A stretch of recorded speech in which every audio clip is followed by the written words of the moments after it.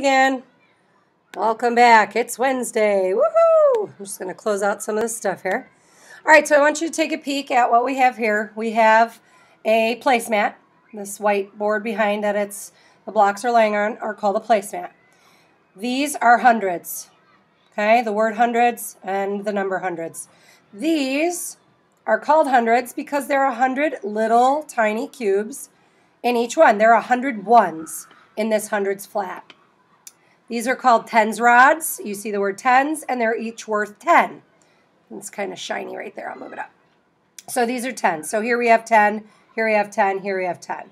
All right, and these again, these are representative of ones, and they're worth 1. So that's worth 1, and that's worth 1.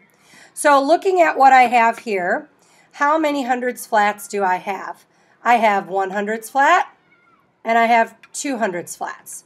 So this is two hundreds. Okay? I don't write the number 200, but that is the value of the 200. We're going to stop for a second. All right. So we have two hundreds. The value would be 200. Okay? And I'm going to go ahead and I'm going to write it down here. The value of those 200s is 200. But we don't record this number in the hundreds place. We record this too. Okay, so I'm going to cover it back up. How many tens rods do I have? I have one, two, three. So I would record that as three tens rods.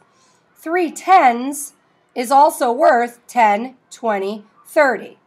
So I would write that down here, but again, I don't want to write it and make you think that you need to write that in the tens place. And here I have how many ones?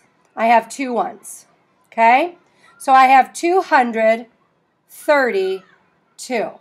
The answer to how many cubes I have here, how many blocks, the answer would be 232.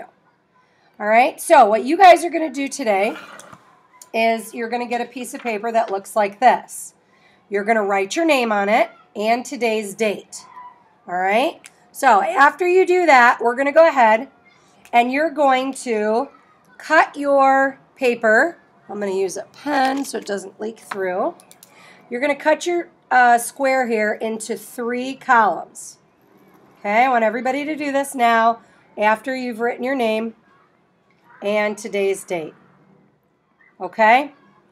All right, so I'm going to put hundreds, tens, ones. Okay? We remember what hundreds looks like. These are hundreds flats. Do I have any in this picture here? There are none, so I'm going to put a zero. How many tens are there? Well, I want you to count the tens rods and write how many rods you counted and put it here. Go for it.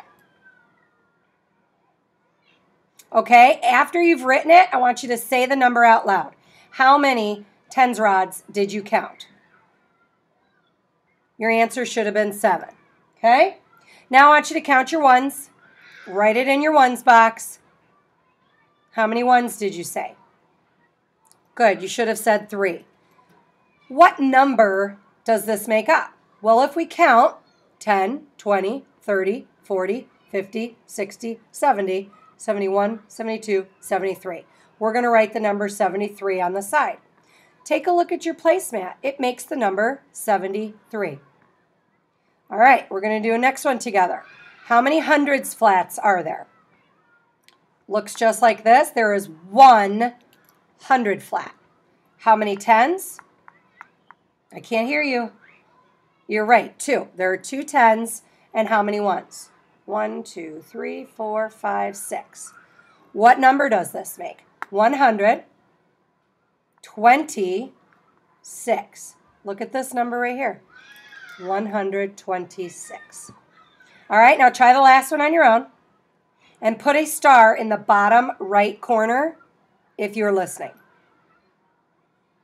Super. Flip it over. All right, you're going to do the same thing. All right, take a peek. This is where this problem is. This one is all one problem, and that answer goes in there. I would cut into my hundreds, tens, and ones first, make my placemat, and then this one goes along just with that. Okay? When you're finished, turn it into the homework basket. Do not put it in your mailbox. Have a good day, guys. See ya.